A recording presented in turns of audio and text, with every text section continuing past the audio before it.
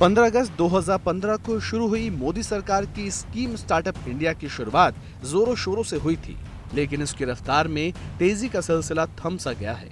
देश में निवेश और नई कंपनियों की स्थापना का डेटा मुहैया कराने वाली कंपनी ट्रैक्शन के एक सर्वे में दावा किया गया है कि देश में नई फर्म खुलने की संख्या अब कम हो गई है। एक सर्वे के मुताबिक 2016 के बाद से ही नए स्टार्टअप्स के शुरू होने की संख्या में गिरावट का दौर जारी है। 2019 में तो नए स्टार्टअप्स का आंकड़ा सबसे कम रहा है। तो 2019 के आ, में सबसे कम इसलिए रहा बिकॉज़ 2016 में डिमोनेटाइजेशन हुआ एंड फंड्स का प्रॉब्लम हुआ मार्केट के अंदर। जो एनबीएफसी के रूल्स आए उसके हिसाब से मनी लेंडिंग की प्रॉब्लम हो गई मार्केट के अंदर। स्टार्टअप्स के लिए आइडियाज़ सबके पास होते हैं आइडियाज़ रोज़ आते हैं लेकिन अगर फंड्स ही नहीं है तो कोई भी स्टार्टअप ग्रो नहीं कर सकता।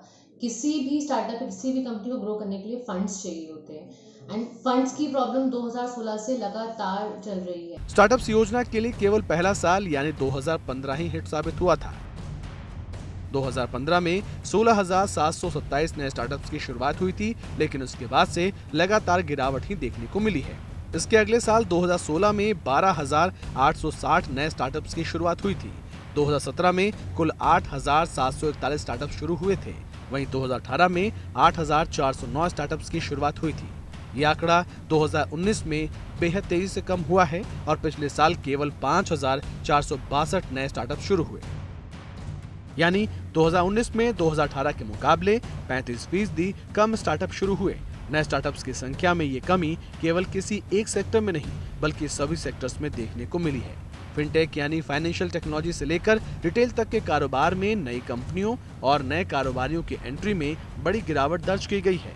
जानकारों के मुताबिक 2014 में नई सरकार बनने के बाद स्टार्टअप इंडिया के तहत नई कंपनियों की एंट्री को बड़ा प्रोत्साहन मिला था।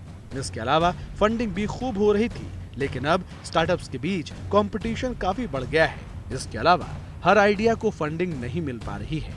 ऐसे में नए स्टार्टअप्स की स्थापना में कमी देखने को मिल रही है।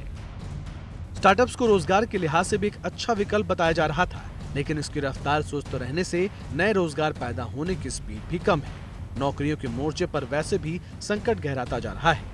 ईएसआईसी के आंकड़ों के मुताबिक पिछले साल दिसंबर में दो लाख नौकरियों में कमी आने के बाद सामने आई है।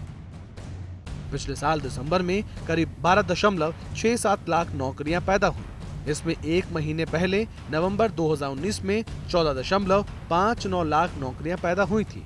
इस हिसाब से एक महीने में करीब एक दशमलव नौ दो लाख नौकरियाँ में कमी आई। ये रोज़गार के मोर्चे पर अच्छी खबर नहीं है। स्टार्टअप और एमएसएमई सेक्टर की कमज़ोरी से बेरोजगारी बढ़ रही है। ऐसे में ज़रूरत यही है कि स्टार्टअप और एमएसएमई को बढ़ावा देकर रोज़गार बढ़ाया जाए, जिससे अर्थव्यवस्था का पहिया भी तेज़ी से घूमना शुरू कर देगा।